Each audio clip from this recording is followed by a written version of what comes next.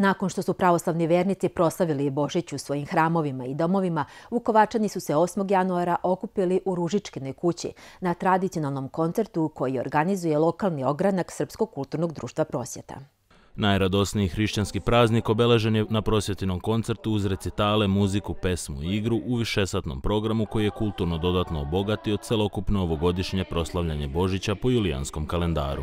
Po samom Božiću imali smo prilike da čujemo mnogo radosnih, lepih reči u boravkom u crkvama, dolaskom kod prijatelja po kućama i svakde se miro božilo, govorilo o ljubavi, o radosti koju treba da, da učinimo na ovaj veliki e, hrišćanski praznik.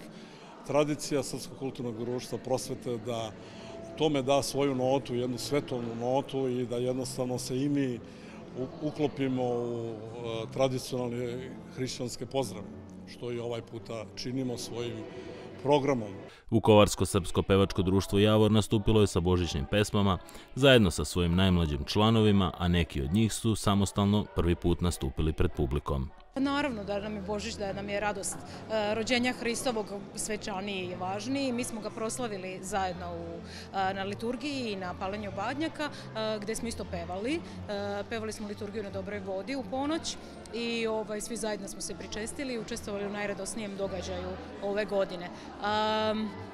Ovaj program je isto tako nastavak, jedan produžetak tog, tog dočeka rođenja Hristovog i njemu se posebno radujem. Po prvi put su se publici predstavila i deca iz Borova naselja koje u okviru prosvjete od prošle jeseni imaju probe folklora, glume i recitovanja.